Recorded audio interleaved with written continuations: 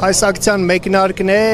լինելու են հաջորդ քայլերը, որոնք գնալով շատանալու ուժ գնանալու են եւ ես դիմելով հիմա մեր ժողովրդին, ժողովրդի այն զագվածին, որոնք քվեարկել էին կամ նախկիններին կամ ներկաներին, ինչ-ինչ պատճառներով այսօր ուզում եմ ասեմ, որ խնդրեմ նոր այդ նորաստեղծ կա, բայց իր էությամբ հին ավանդույթները, կիսագաղութային ավանդույթները շարունակող ազգային ժողովը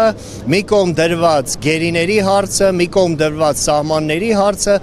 իրար մեջ գզվրտոցով է զբաղված, զբաղված են իրար հայոյելով, փնովելով, բայց իրականում դա այն թատրոնն է, որը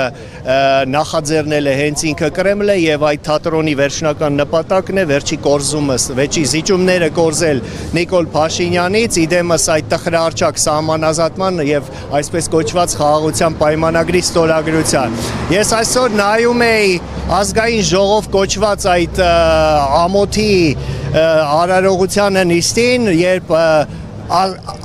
հայ հեղափոխական դաշնակցությունը ներկայացնող Արծվիկ Մինասյան անունով падգամավորը ասեց հետևյալ միտքը. Հայաստանի եւ Ադրբեջանի միջև միջազգայինորեն ճանաչված սահմաններ գոյություն չունի։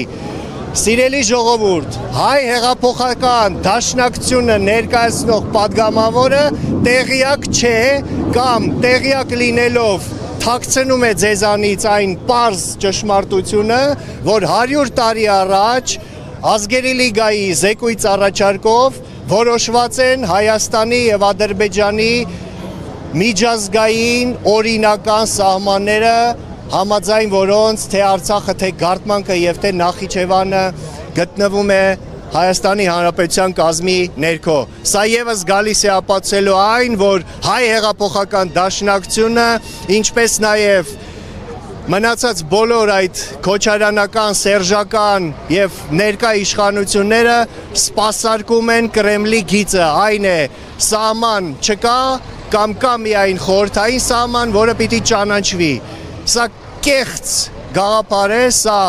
սուտ է, սա կեղտոտ ճղճիմ պատմության այլասերում է և կրկնում եմ նրանք պատմությունը դրած մի կոմ զբաղվում եմ իրար մեջ հաշիվ պարզելուց այս մուրջ մանգաղ աստղի ներքո ստեղծված ազգային ժողովը սպասարկում է սև ու սպիտակ նախկին ներկա օրակարգը եւ պիտի իր դերակատարումը ունենա Նիկոլ Փաշինյանի ստորագրելուց հետո վավերացնելով այդ տխրարճակ խաղաղության պայմանագիրը եւ ճանաչելով անօրինական խորթային Հայաստանի սահմանները դրանով փակելով Արցախի հարցը։ Ես ավելի քան վստահ եմ, որ դա չի հաջողվի, որ, որովհետեւ թե ինքը Կրեմլը կանգնած է լրջագույն փոփոխությունների արչեւ Պուտինյան ռեժիմին մնացել են հաշված ամիսներ, դրանից հետո լինելու է հայ ազգի, ազգի, ոչ թե ժողովրդի, ժողովրդի գիտակից հատվածի, ազգի զարթոնքը, վերելքը, որը սրբել տանելու է երկրի ներքին կեղտը, երկիրը տանելու է դեպի ապագաղութացում, երկրում ստեղծվելու է ազգային իշխանություն, որը որ մի անգամից հաստատելու է դաշնակցային հարաբերություններ Ամերիկայի Միացյալ Նահանգների, Ֆրանսիայի եւ մնացած երկրների հետ, որոնց շահերը համընկնում են հայ ժողովրդի շահերի հետ։